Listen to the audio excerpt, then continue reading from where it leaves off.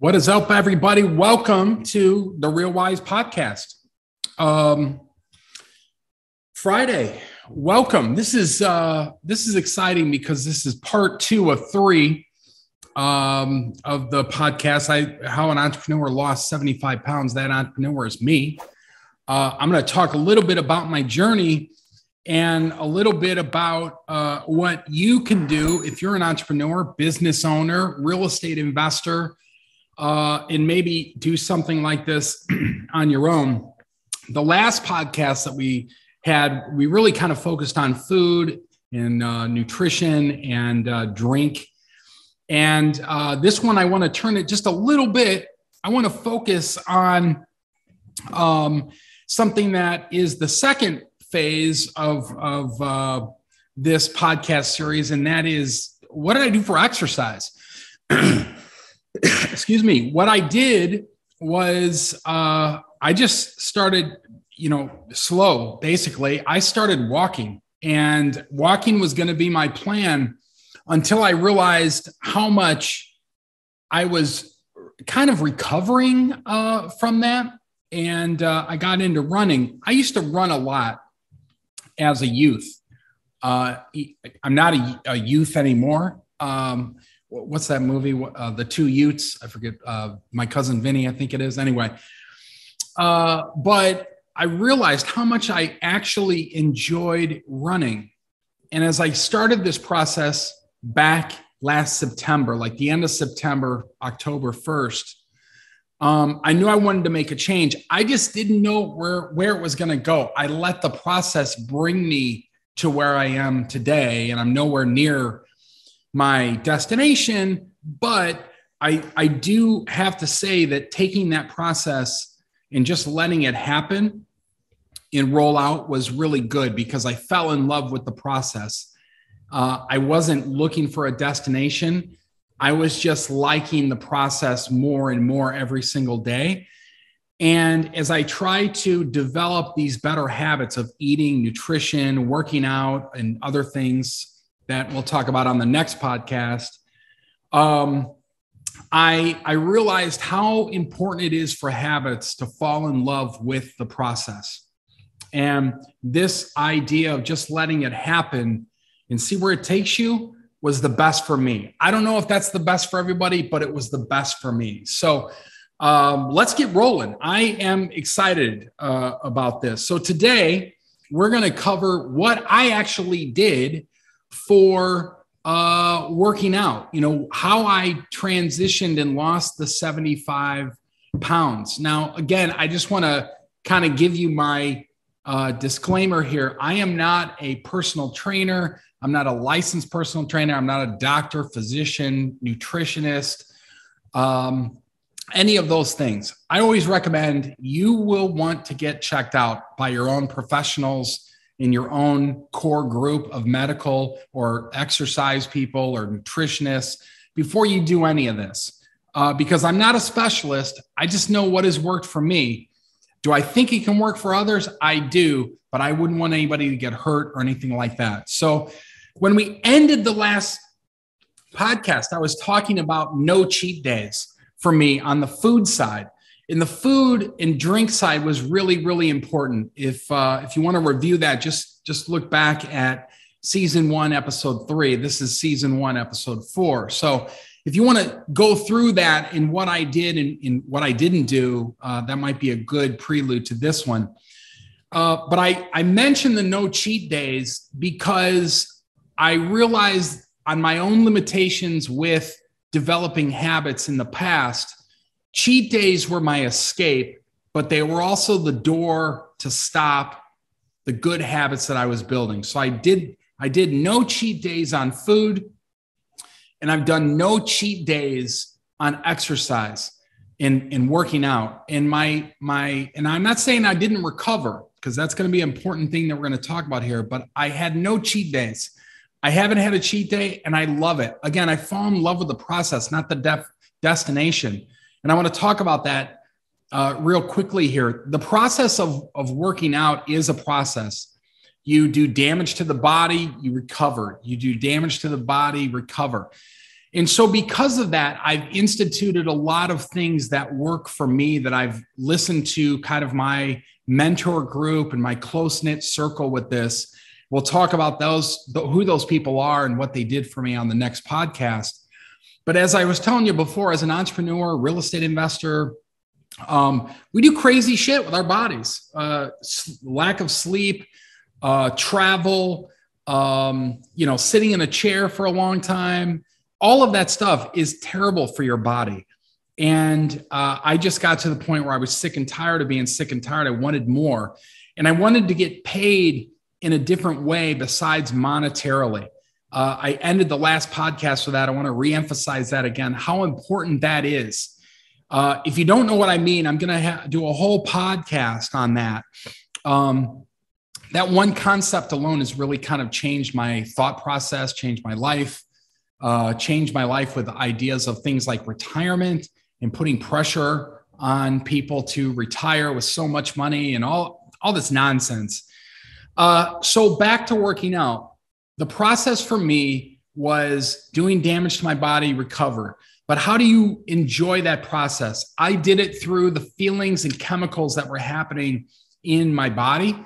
Um, I talk about that on our sales side a lot the chemistry that happens in the pharmacy, that happens in one's brain in the sales process. Not a lot of people talk about it with regard to habits and working out. Shout out to Atomic Habits. I read that book and a lot of what I'm telling you is in that book.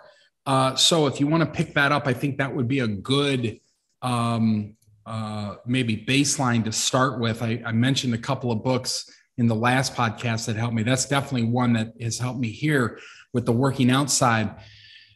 The next major rule that I did in losing the 75 pounds on the workout side is giving yourself one hour at a minimum, not including your shower, recovery, any of that, one hour at a minimum. It's called the one hour rule. and if you do not give yourself one hour, you really um, lose the opportunity to really give your body the benefits it needs from working out. Um, in a minute, I'm going to be talking about these zone trainings that I do. There's five zones to heart rate workout. Zone two and zone five is the ones that you know i focus on due to one of my uh, people that i really listen to in this field is a medical doctor and trainer. Um, but you'll understand that as you get working out the body needs at least 45 minutes to at that stage to gain be- true true benefit. Do you gain benefit at 20 yeah but it's minimal. Um, but if you're starting out i want you to do something. Give yourself an hour. Well, for me, I couldn't, when I first started this, I couldn't run an hour. I couldn't even run 15 minutes. Um, so I started walking. And that's the other thing I want to give you. If you, you're dedicating an hour to yourself and you're giving yourself an hour, do something that's challenging to you at that point, at that stage. To me, it was walking at a brisk pace.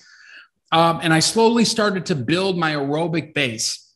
Um, guys, I, I've learned so much during this process. And one of the things that I've learned is this aerobic base, heart rate two, uh, which you'll know about in a second, uh, where the heart is, is really working uh, pretty hard, but not hard enough to where you can't carry on a conversation while you are exercising. It's just getting to the verge where that might be a little bit difficult. Breathing in through the nose, breathing out through the mouth and really, that might be a little bit difficult, but you can do it. That's kind of a, a good indication that your heart is in this zone two, which is an aerobic base.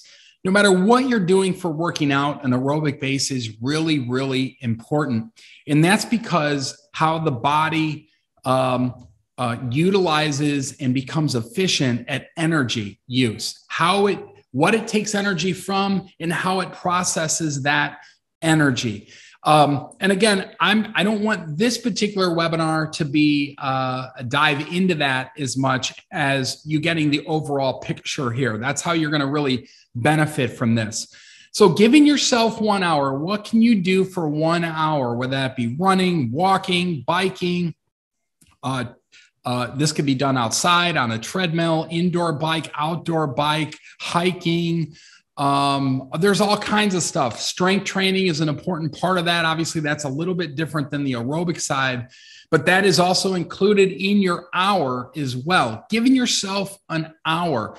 Not every day you're going to run every day. For instance, um, my schedule when I first started out was mu- is much different than my schedule today at doing this. I'm only seven, eight months into this. So my schedule in seven, eight months is going to be completely different than it is today. I'm growing, I'm getting better, I'm getting more efficient. My body's becoming used to doing different things. So I'm running. That's my choice.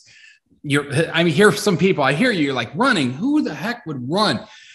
for me, I just like it. I like the running. It's it's uh, for me. It's it's a way that I can um, escape just a little bit from my mind and all the things that I think about. It's like I'm in a little bit of a trance. I'm in a little bit of a, you know, I just go. I'm in a zone, if you will. So that was uh that was the one I chose. Other people might choose biking, hiking, excuse me, other things uh, from an aerobic base or, or weightlifting, CrossFit. There's all kinds of things that you can do, but give yourself an hour, not including your shower or recovery. People might say, well, John, I don't have an hour. Yeah, you do. 168 hours in a week, you got one hour a day you can give you. You give maybe another company, if you're working for someone as a W 2, eight hours a day, maybe 10. You give uh, sleeping eight hours a day. You can give yourself one hour a day at least, one hour a day. It's probably more like an hour and a half just to be up front. But if you can't give yourself that, you're not going to make the progress that you're going to want to make. Um, I can tell you that from experience. So one hour a day, it's probably going to be closer to one hour and a half or an hour and a half. Um, I don't know why I just said it like that, but 90 minutes, 60 to 90 minutes, that's where you're really going to see a big advantage. Get up earlier, go to bed earlier, get your get your your time in, give yourself an hour. Do not mess with that. Do not take any cheat days.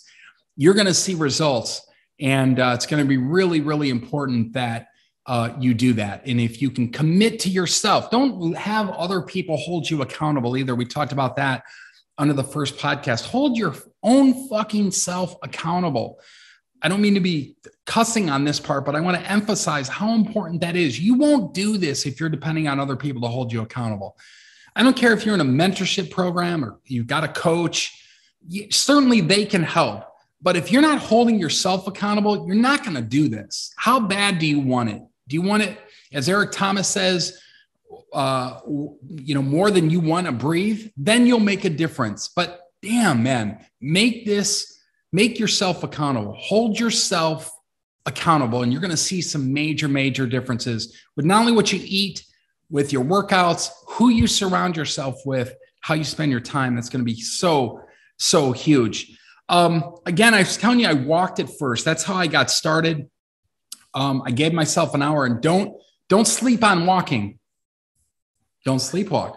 No, don't sleep on walking. Walking is a great way to start an aerobic exercise. It does get you into that zone too. If you walk at a brisk pace, you can get that heart rate up. If you're on a treadmill, you add a little bit of incline to that treadmill. Those are the secrets that I've learned over my journey here. It does amazing for your heart. Matter of fact, if you stayed walking on a treadmill and just increased the incline and you got to you know a, a 15% incline most people couldn't stand you know five minutes on that at that incline. I'm telling you incline makes a huge difference. So that's where i started. And uh, because i was excuse me i got choked up there. Here watch this. Okay i'm all good. Water now. Water's good. Uh, stay hydrated folks but because um, uh, you're working yourself hard even at the beginning recovery is so important. Give yourself recovery. Let me tell you what i did. So when i would go and, and walk uh, an hour at a brisk pace and watching my zones uh, my heart rate zone and making sure i was at a specific heart rate uh, for zone two which for me was about 125 let's call it um, I uh, then would the next day get on the bike and I would do a bike for 30. I would stretch for um, 15 and I would meditate for 15. That's right. Meditation was so huge for me in this process. I meditate probably four, three, four, or five times a week now, just because I enjoy it so much. I include that in my hour because if you're not right mentally, you're not right physically. Your mental portion is a part of your physicalness. I hope that's a word. But your mental capacity and how healthy you are mentally is a big part of that. So I've included that in my hour workouts. I probably am at an hour and a half now, including my uh, when I do meditate like that. But for me, that's helped so, so much. So make sure you're giving yourself recovery. Most people, and I learned this from uh, one of the mentors that I listen to. His name's Coach Perry. He's a running coach. And he talks about the fact that most people, when they start out on an exercise regiment and working out, they go way too hard for too much and too long. Um, they don't give their body enough time to recover. Understand the um, physical scenario that's going on with your body. You're tearing down muscle fiber and cells uh, to build back better. Shoot, I shouldn't I shouldn't use that term right now. Some of you are laughing. Some of you have a serious face. To to really help your building body become stronger. Um, I'm still laughing on that. I can't believe I said that. So uh, um, tearing down your body from a muscular standpoint to build a better body moving forward. There's a lot of chemistry that goes into that. And we won't do it on this particular webinar, but I am I'm um, really intrigued by the chemistry that goes on in your body, not only as a professional salesperson and entrepreneur, but also as somebody that's working out now. I didn't always work out, by the way, so I'm not this professional workout person uh, or pro athlete. I've always been an athlete. I played college sports, uh, basketball, and things like that, but I'm not a pro athlete. I guess maybe in my mind, sometimes I believe I am. But giving yourself the body, the your body, the time to recover is really, really important. Make sure you're surrounding yourself with people that can coach you with that. Our next uh, uh, podcast is going to be all about who those people were for me. Borrow these people, use them in your own scenario, especially if you're a biker, a runner, weightlifter, any of those things. Um, so recovery is really important. Build as you go. You have to challenge yourself continuously at first. Um, when I was telling you, I started out walking at first, and now I run. I can run for two and a half, three, four. Well, not four hours probably, but three, three and a half for sure. And I'm moving up to to past that uh, definitely. Uh, but when I first started out, I couldn't walk 15 minutes, or sorry, run 15 minutes build up to that, but challenge yourself. In the way I challenge myself, it's easy. It's it's number one, really how I feel. Number two, what's the heart rate going on with my heart? I do wear a chest strap with regard to heart rate monitor as well, but training in the five zones of your heart rate is really, really important. And it's how you stay organized. Most people never train that way. And I would encourage you to do a little research and really think about um, how that happens. Our next podcast, I'm going to give you all these links that has helped me with this and try it out, check it out, see if it helps you. But it's really, really helped me to be able to train in those zones and really understand that when I'm going out for a, a six mile run, which I do regularly now, um, I, I want to stay within a certain zone. So if I'm in zone two, I'm not really pushing my body. I'm not worried about the time that I'm running this in. I'm worried about running comfortably and in good form. I would be doing the same if I was biking. I'd be doing the same if I was, you know, hiking or or uh, uh, doing any other cardio or definitely in weightlifting. You have to have the right uh, posture and position uh, with that. But um, I, I really believe in this training for a zone. 80% of my training has been low intensity training, uh, meaning zone two, pretty much. That's my heart rate, zone two. 20% has been high intensity, zone four and five, zone four and five, mostly five, basically. But people, again, people run or bike at a higher intensity that they sh- than they should. And I really feel that this is the key of people giving up because they train harder than they should and they're, they're miserable at it. Um, training at zone two has really really become enjoyable for me. Not only is my body, and I'm, I'm bragging here a little bit. Who brags like this though? Watch this. Not only is my body better at um, taking in oxygen and bringing energy to the cells through, um, you know, uh, mitochondrial um, activity in producing that all important ATP, adenine triphosphates, um, to give the give those those that's the powerhouse of the cell by the way the mitochondria and giving that muscle the energy it needs to perform.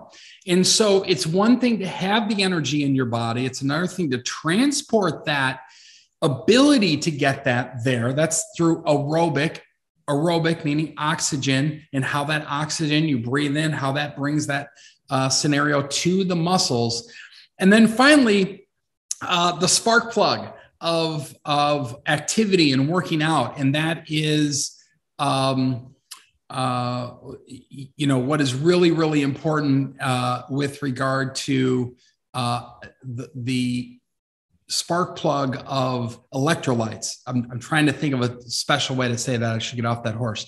Uh, but electrolytes is the spark plug. Think of fuel like uh, fat and protein and glycogen and carbs and all this stuff is fuel, the body's deci- deciding on what fuel to use. So, pretty much in zone two, they're going to use fat. So, if you're trying to lose weight, one of the ways that I lost the 75 pounds is I focused on zone two. It's the best zone for burning fat.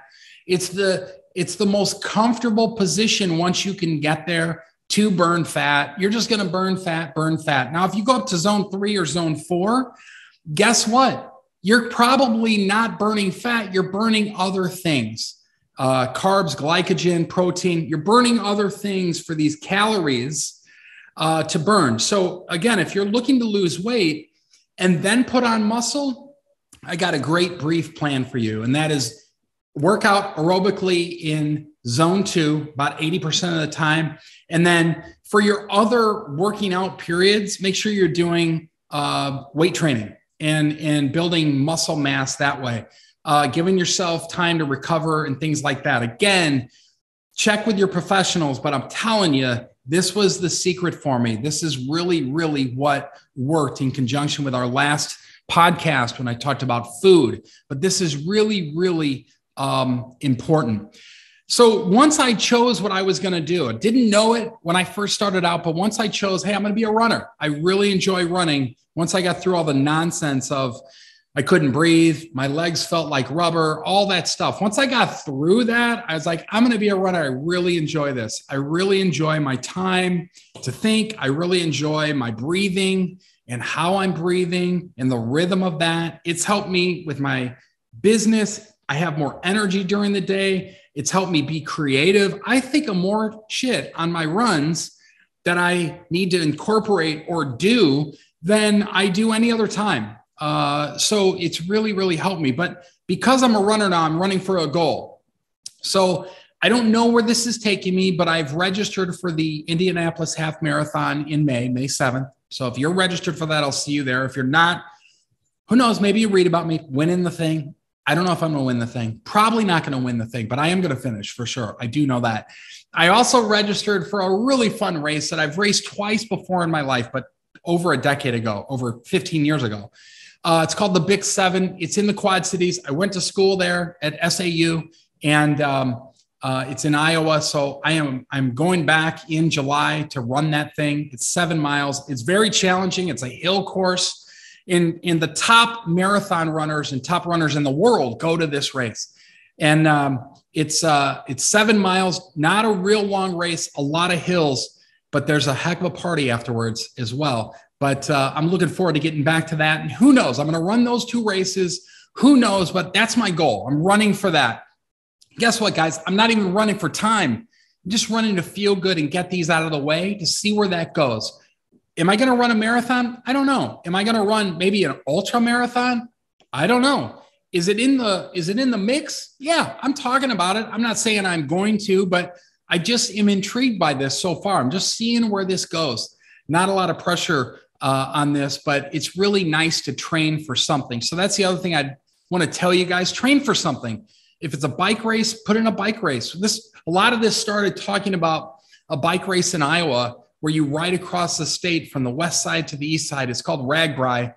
And uh, we, I, I probably am going to do that next year, 2023. It was a little too tight for this year, just with everything going on with the family and in this particular journey. But uh, uh I recommend running, riding, or doing something for a goal. If it's CrossFit, whatever it is, get in a get in a competition, get in a goal. You don't even have to perform for time. Like I'm not really overly concerned with time. I'm going to think about it, but I'm not ultra focused on it. I just want to relax, have fun, do the best I can at this race. Once I get through these, then I'm going to think about more on performance and what I want to do for personal bests and records and um, my personal record, not uh, you know uh, Guinness Book of World Records or anything like that.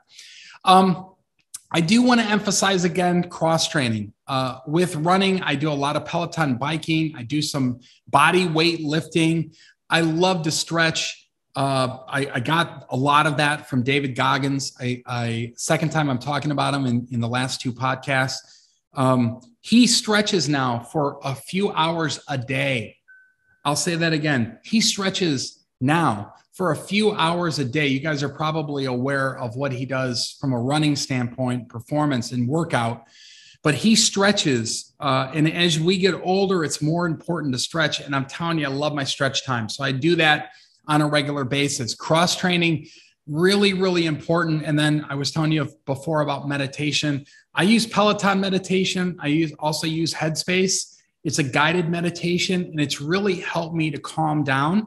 Um, if you're ADHD, which a lot of entrepreneurs are, if you are uh, not HDHD, but you have a lot of shit on your mind, give yourself some time to meditate. I do this during the day.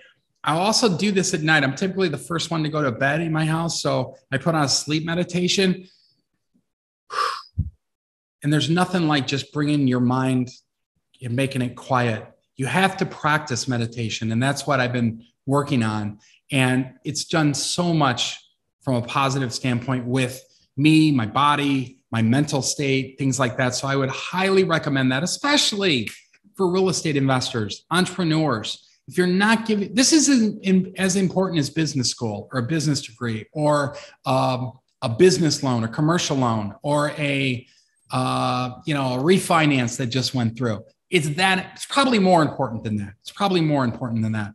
Um, they all are the pieces of the puzzle for me. Not one of these things I mentioned, including the food and diet and drink. If I was missing one of those, I wouldn't be where I am today. I wouldn't be as in good a shape. I wouldn't be as so optimistic about the future. I wouldn't be in this health level that I feel like I'm at right now. Um, so, you know, my my next goal after I get through these two races, I'm going to have all my numbers checked out. Uh, there's a lot of really cool services now. We're going to talk about that on our next uh, podcast. I know I keep going back and forth, but uh, we are so much to cover here. And uh, really, really important stuff, though, this cross training and having everything fit together. This was my puzzle. Everybody has a different puzzle and pieces they're putting in there, but you'll know when you get there because you enjoy all of it.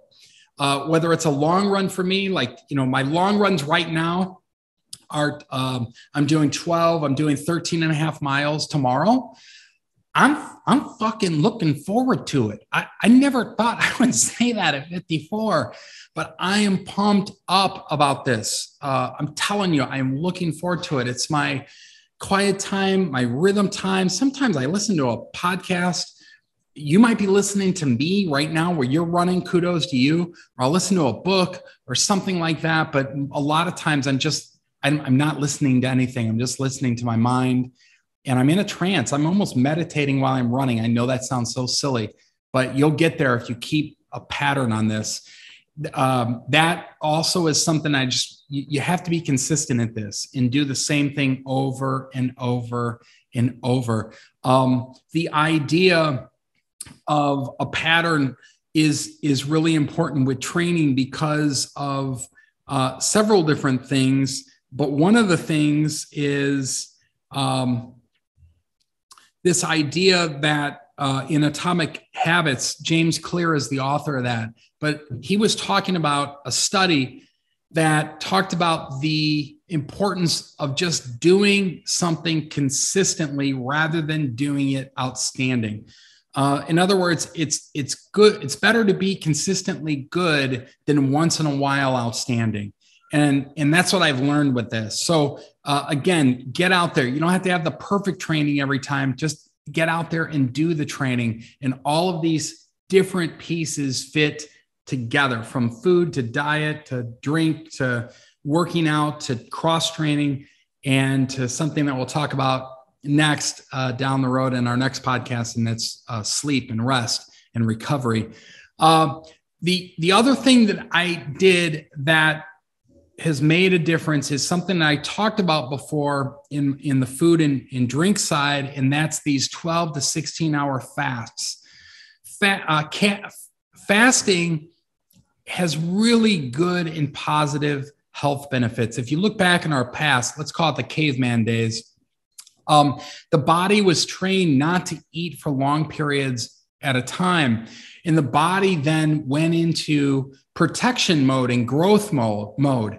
Well, we don't have that problem today because food is so prevalent. Matter of fact, it's probably over prevalent for many, many people. So they never put their body in a training platform that the body was built on in how to make yourself better. The body goes into build mode. Hey, how do I protect myself? How do I um, you know, go into this state of ketosis where I'm using things like glycogen and fat rather than eating, uh, using energy stores of other things um, to make uh, to make myself run, my machine run. So those understanding glycogen and how those fill the muscles and and ketosis and and understanding uh, the idea of carbs and using that as a fuel source and, and what happens with ketosis and, and burning fat and things like that has been all a, a good I, I guess i knew it but it's i didn't i wasn't in i wasn't a practitioner of it. And that has really helped me with this weight journey uh, type of scenario how the body uses energy fat proteins glycogens carbs all of these things. And the body's an amazing amazing machine and uh, it's it's i'm eating now for energy not eating just mindlessly. I'm eating everything that i put in my body. I'm thinking about what it's for and how i'm going to fuel my workouts and my runs and uh, that type of thing. So that's my workout. I'm working out probably you know, an hour, easily an hour to an hour and a half per day. Like tomorrow, my workout will probably be two and a half, 245, something like that on these long runs that I'm doing, just because I'm training for these um, particular races. But your schedule will change, but give yourself seven hours a week. Give yourself the time to work out. Start off walking, start off, um, you know, doing some light biking uh, and, and maybe look into these zones. We'll, we'll definitely talk on that a little bit more. I'll give you a little sneak peek. If you want to know more about that zone training, and I'll put it in the, the comments uh, below if you're watching on YouTube. Uh, if you if you study a little bit of Dr. Peter Attia, he's a medical doctor. He started out as a cardiac surgeon, and and uh, he's a uh, a workout athlete uh, from a biking standpoint and, and other things as well. But he's just one of the people that I've learned all of this from. So you might want to do a little bit of research on uh, Dr. Attia. Really, really good stuff. That is it today, folks. I'm, I'm hoping that you enjoyed the uh, REALWISE podcast for today. We, again, we're talking about working out and energy. I loved it. It's something that I'm passionate about. Hopefully, you can see that. And uh, I would I would hope that if you're an entrepreneur, business owner, if you are somebody that wants to just perform better and do better, you're going to start to give yourself seven hours a week, one hour per day. If you don't help yourself, can't help those around you, uh, kind of thing. And so I think that's really, really important. Remember, wealth has nothing to do with money. Success has everything to do with failure, and life is as simple as you make it. We will see you on the next podcast, my friends. And uh, until then, have a great day, and we'll talk real soon.